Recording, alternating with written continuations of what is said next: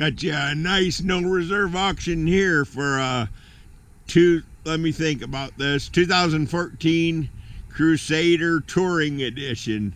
This is the 295 model. Um, it also has the automatic leveler system on it. Anyhow, it's got a nice fiberglass front cap, fiberglass sided. It's one owner, clear title in hand, outside speakers, electric awning, good tires,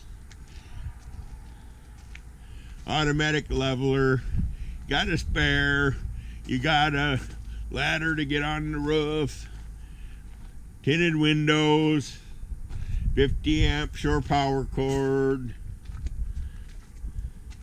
nice super pass-through storage up here. It's three slides, so you're to get a big feeling of spaciousness when we get inside. It's a one bedroom with the rear living room. Very comfortable trailer. Very, very nice trailer. Uh, let's go on in, have a look around.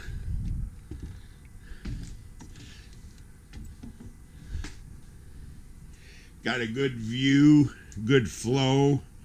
Uh, non-smoking for sure. He did have a well-behaved uh, pet.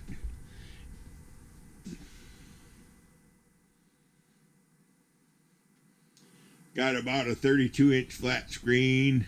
You got a home entertainment center, central vac, theater seating, freestanding table with four chairs.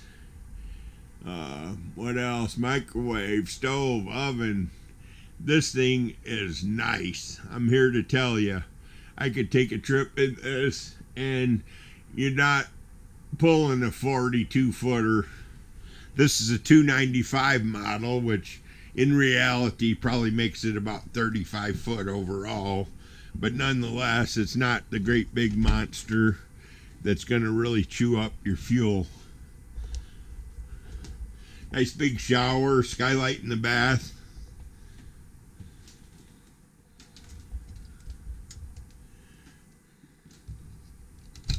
Really cool closet center. Sure, there's storage under the bed. Got the entertainment center at the bed, which is kind of neat. If you like listening to the radio or watching TV late at night, I guess it's right next to you.